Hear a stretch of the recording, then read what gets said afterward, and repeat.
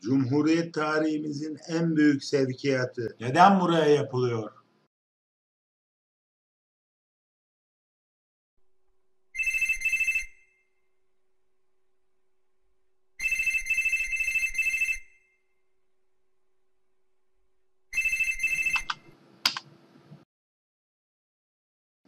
Göz göre göre haklarımızın çalınmasına buna müsaade etmeyeceğiz.